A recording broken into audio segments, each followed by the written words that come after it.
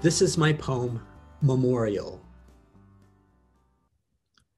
Straight as steel, hands on hips, Dad balances like a hood ornament on Irving Wasserman's head.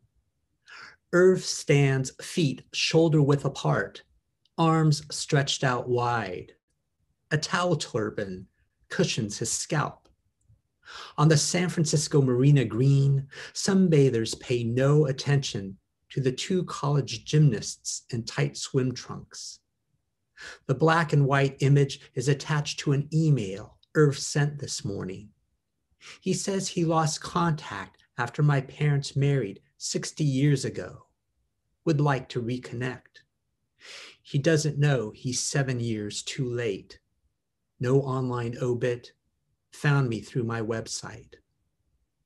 He calls my father remarkable, a word I never heard used to describe him. But yes, look, there he is, poised in the air, the husband who never cheated, the father who never struck me.